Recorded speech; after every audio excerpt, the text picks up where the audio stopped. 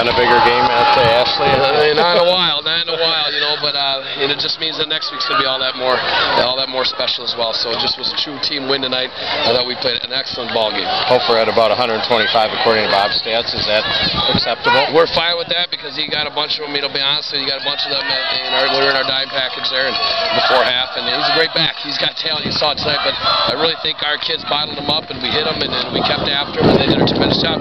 We didn't give up the big long run tonight, which he's been accustomed to having. That's contributes to our defense.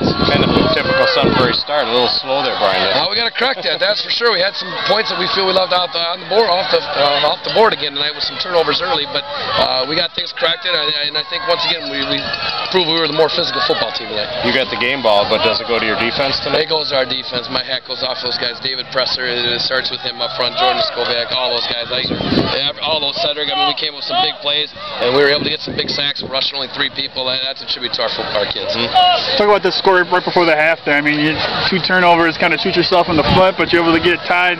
Heard you say on the sideline, you have to, have to be, be, believe, right? You, yeah, you guys did that. We, I think our football team has shown that characteristic the last you know eight years that we'll fight to the end, and we believe we're going to win.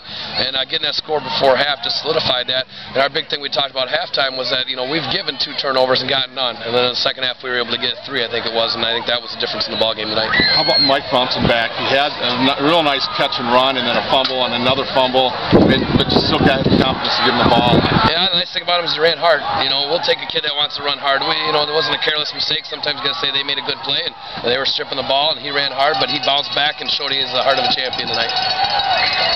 Five and zero conference.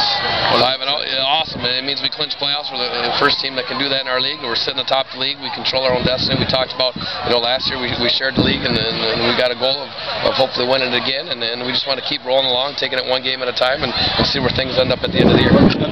You know, they had three of their starting defensive backs out, and another one went out in the second quarter. But it looked like Tyler was having some problems. Was the wind a big factor, passing-wise, early? I don't know if the wind necessarily was. Field position got us a little bit, and then they were bringing some people, and uh, you know, you got to give them credit too. They were trying to take away Ross Harmon with some, some double coverage over the top on him, and uh, you know, but that allowed us to run the football a little bit better, I think. So we're kind of that team that's going to take what they give you, and you know, if we can spread it out and throw it, we'll do that. If we can pound it, we'll try to pound it. And I'm glad, I think we were able to wear them down tonight.